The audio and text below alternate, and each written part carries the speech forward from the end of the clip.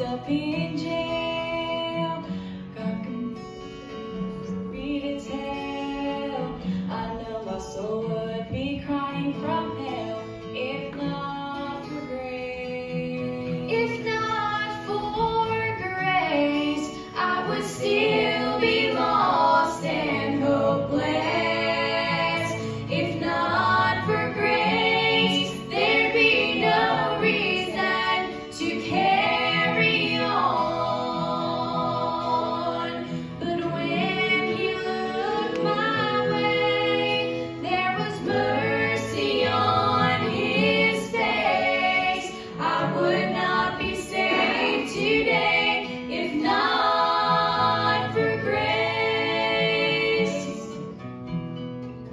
Sin I carried for so long, things in my past I